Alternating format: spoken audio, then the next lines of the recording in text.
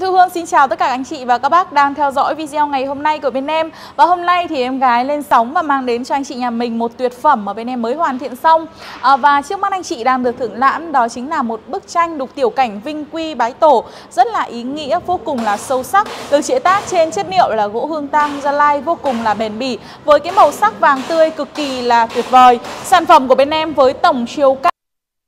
39 chiều ngang tức là chiều dài của tranh là 1m39 và chiều dày của khung tranh là dày 5cm anh chị nhà mình ạ. Và ngay bây giờ thì kính mời anh chị và các bác cùng đi sâu hơn vào sản phẩm để tìm hiểu với em gái một vài ý nghĩa phong thủy cũng như là chiêm ngưỡng từng đường lối đục trong sản phẩm ở video ngày hôm nay được không ạ?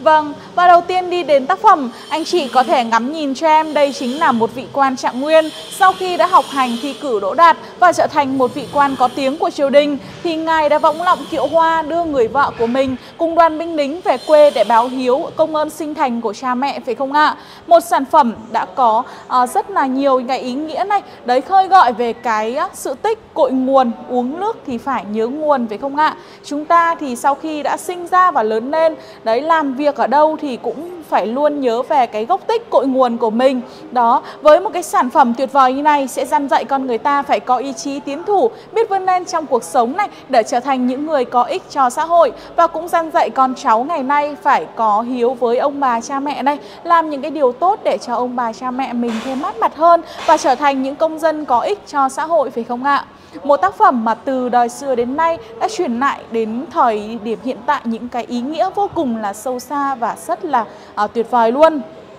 Và cùng với đó là đôi bàn tay rất là khéo léo của nghệ nhân làng nghề nổi tiếng Đông Giao, Lương Điền Cẩm Giàng chúng em. Anh chị có thể ngắm nhìn này, từ đoàn binh lính đến vị quan và người vợ của ngài thôi cũng được đục rất là chi tiết và vô cùng là tỉ mỉ. Từng cái đường mũi đục được gọt tỉa rất là sạch sẽ các bác nhé. Và cái điểm đặc biệt tiếp theo đó chính là cái tác phẩm này em đục rất là kênh bong luôn. Đấy, nghệ nhân đục cực kỳ là kênh cho em này, từ những cái phần tàn lá cây các bác có thể nhìn ngắm này. Em gái có thể là đưa tay qua từng cái phần khe kẽ của tàn lá cây. Tất cả được đục thủ công 100% bằng tay luôn phải không ạ? Một cái bức họa đồng quê, một cái tiểu cảnh vinh quy bái tổ rất là xứng đáng để anh chị nhà mình có thể là trưng ở vị trí phòng khách này. Đó, hoặc là anh chị nhà mình có không gian phòng làm việc của mình rộng thì trưng sản phẩm này rất là hợp lý bởi vì bên em đã thiết kế là hai cái phần móc treo rồi anh chị nhà mình ạ. Đó rất là chắc chắn luôn, treo trên tường thì không tốn nhiều không gian diện tích của nhà các bác nhà mình với không ạ? Đây à anh chị nhìn này, những cái phần mấu mắt này hay là những cái phần tàn lá cây này, những cái áng mây hay là những cái ngọn núi